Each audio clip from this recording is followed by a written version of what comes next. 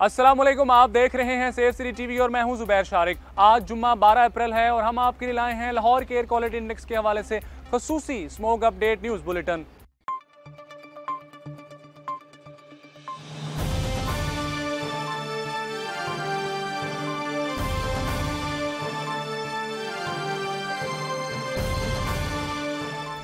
महकमा माहौलियात और safe city smoke radar के मुताबिक इस वक्त मजमू तौर पर लाहौर का एयर क्वालिटी इंडेक्स इकहत्तर है। शहर के मुख्तलिफ़ इलाकों की बात करें तो माल रोड, तिरपन, पंजाब यूनिवर्सिटी तरतालीस और सेफ़ सिटीज़ अथॉरिटी में पचास रिकॉर्ड किया गया।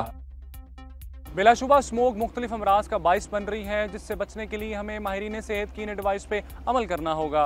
सुबह वॉक पर जाने वाले शहरी स्मोक से बचाव के लिए अपनी रूटीन में तब्दीली लाएँ। घर से बाहर निकलते वक्त मास्क और चश्मे का इस्तेमाल यकीनी बनाएँ। दिल या दमे के मरीज़, बूढ़े अफराद और बच्चों को स्मोक से बचाव के लिए ज़्यादा एहतियात करें। रोज़मर्रा रूटीन में ज़्यादा से ज़्यादा पानी पिए। घर में सफ़ाई के लिए पानी और गीला कपड़ा ज़रूर इस्तेमाल करें।